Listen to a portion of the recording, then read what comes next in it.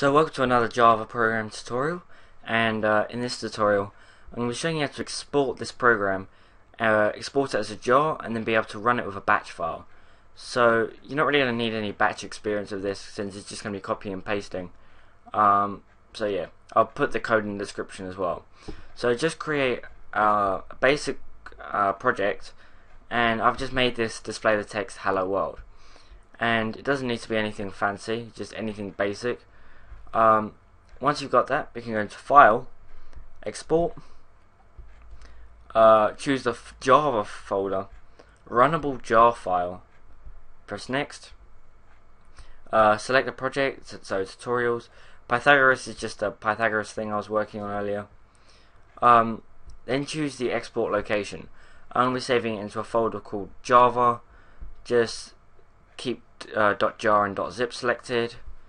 Call it whatever you want. I'm going to call it 1 because it's just a random number. Um, and then once you've done that, just press finish.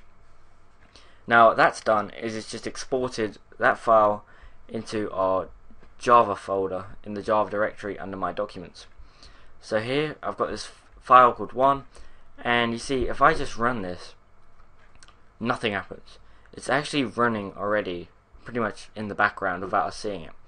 So what we need to do here is we need to um, we need to run it using a batch file. So just open Notepad or Notepad++ or whatever you want. Then in here, what we're going to do is just paste this in. Now this will be in the description below. Um, let me just walk through it. What this does is we're just telling it to run Java. Um, here we're telling it uh, how much memory, how much RAM to allocate to it.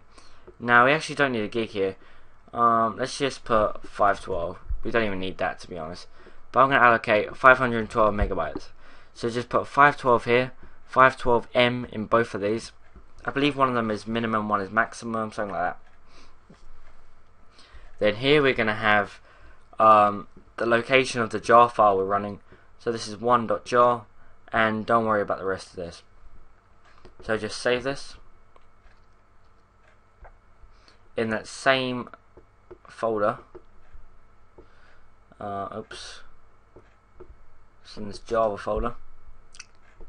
And just save this as launch.bat or something like that. Has to have .bat at the end. Now I'm going to go into my documents here and we can just double click on this. And here you see we've got it's just run that code and then now it's saying hello world because that's what we made our program to